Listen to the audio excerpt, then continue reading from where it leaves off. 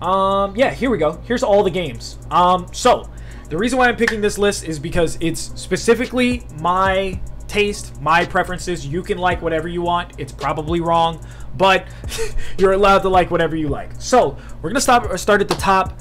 Um, actually, I, I you know what? I don't know. There's there's I do want to put a list below this one. So add below, and then we'll go and click this.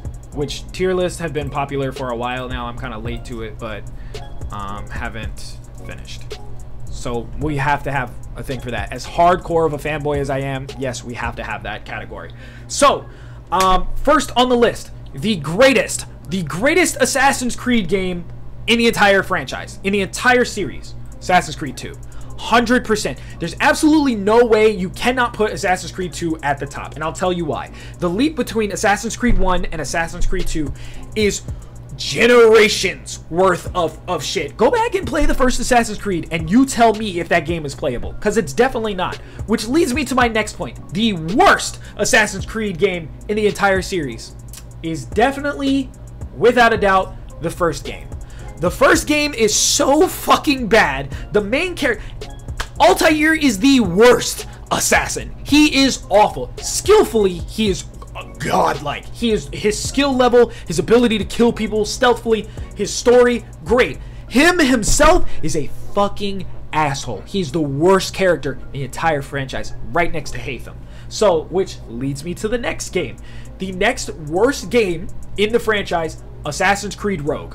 100% the most boring Assassin's Creed game out of all of them. We're talking like the little phone games. We talking all of it the most boring. I would put it down there with F with everything else with with Assassin's Creed 1, but I just cannot do that. The reason why Assassin's Creed 1 gets so much respect is because it started the franchise. Honestly, there back then, playing Assassin's Creed 1 was innovative. Playing Assassin's Creed now, you wonder how the fuck did this shit get a sequel, which is the greatest in the entire franchise. Now, it gets a little weird after this, so I'm I'm just gonna go with the template that I made before the next greatest game in the Assassin's Creed franchise. And this is me personally because I enjoy it. I think it's the greatest. I love it. It is by far the funnest. Please understand, the funnest Assassin's Creed. Okay?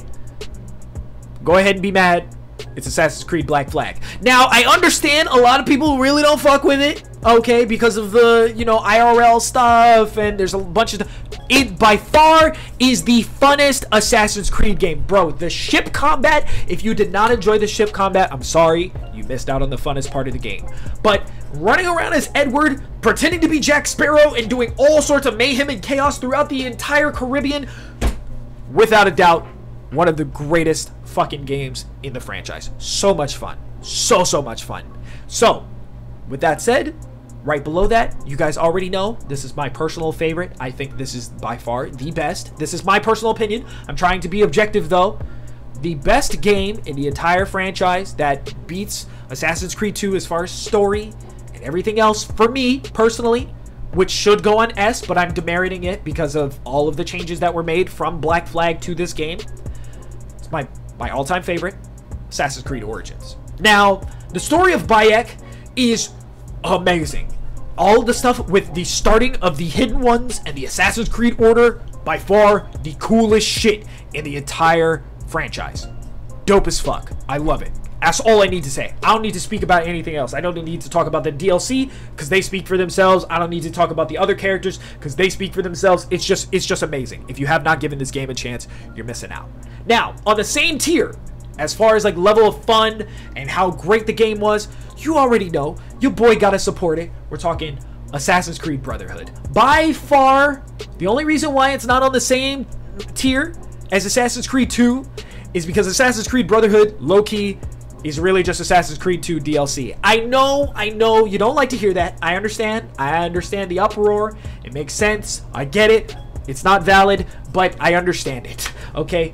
Assassin's Creed Brotherhood was was the game where they invented that gang shit, okay? Not only could was there an app spe specifically for like the Brotherhood management shit where you would go out and send people like you would leave home in the morning after sending your uh, assassins out on a mission, come home from school or from work or whatever, come back and you found that your assassins got you treasure, they got you bitches, they got you rubies, they got doubloons, they got all sorts of shit. Your entire Assassin's League that you sent out to do missions, they killed hundreds of Templars in your name, bro.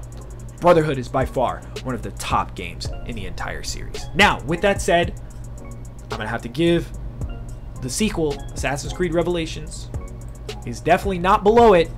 It's far below it. Now, the reason why I pick Revelations to be that far down.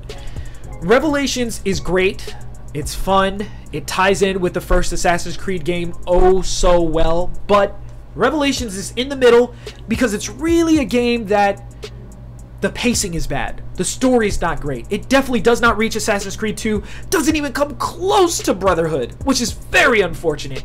But it's still better than Assassin's Creed Rogue, better than the first Assassin's Creed. There's so many tools and, and technological shit and pieces of history that make this game amazing, but it's also the turning point for the Assassin's Creed franchise. And I say that because the Assassin's Creed 1, Assassin's Creed 2, and Assassin's Creed Brotherhood that trilogy, that's those three games, that series really was Ubisoft going, I don't give a fuck mode. I don't give a fuck about your religion. I don't give a fuck about your beliefs. I don't give a fuck about none of the shit that you like. We're killing everybody. All everybody that we don't like, we're killing them in history.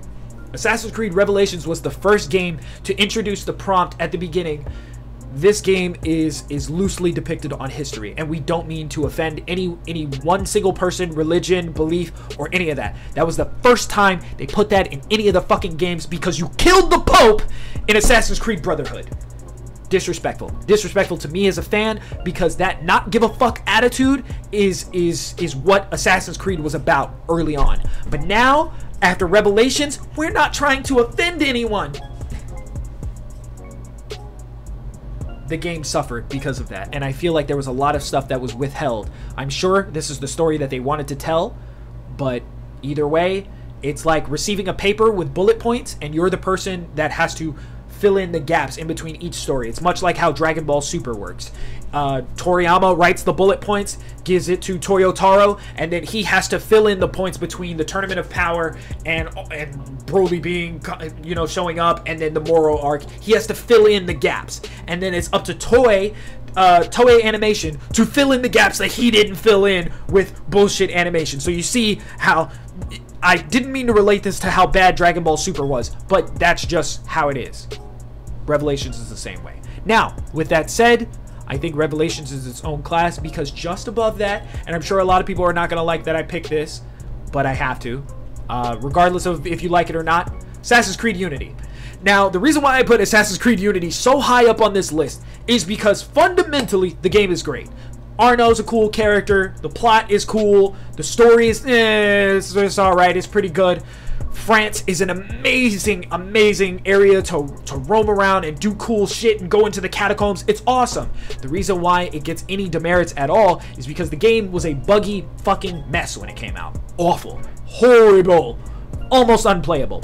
Now, with that said, cool. It's running on a different engine that they wanted to flex at the time because Assassin's Creed Rogue had come out at the same time on the previous gen, which was also really bad because they based everything on Assassin's Creed 3, which is borderline one of the worst Assassin's Creeds. We go guess where we gonna put that? We gonna put that right next to Assassin's Creed Rogue because there's absolutely no reason why I shouldn't put these two next to each other. Haytham was horrible, Connor was horrible, the story was horrible, but it was playable. Okay, cool. Rogue, uh, much of the same thing, seeing a different perspective to the story. Now, with that said, I also have to put this game in the same tier. Assassin's Creed Liberation, great game. I love Aveline. I love the story. I love all of it.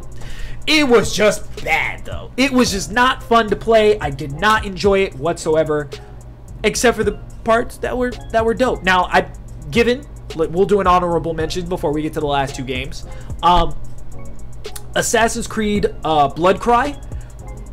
I think that's what that was. The Adewale DLC. Adewale does not count as an assassin. He was never inducted into the Assassin's Brotherhood, so therefore his game is also not a complete separate game by itself, whereas Liberation was. So unfortunately, he's not on the list, but if I had to put him somewhere, it would probably be in between B and C, I guess. Maybe maybe around there. It'd probably be around B, let's be honest. Now, next on my list, uh, obviously, let's go ahead and get this out of the way. You guys have seen I have not finished Assassin's Creed Odyssey, so therefore I do not feel like I'm qualified to speak on it yet. So I'll be able to place it. It'll probably be around maybe B, maybe C area because from the game standpoint where it's starting, it just feels like they took Origins, put it in a different setting, and they were just like, we don't really give a shit about this story. And also, I don't like how interchangeable the male female character between Cassandra and Alexios. I don't like how that's starting because it's the exact same thing.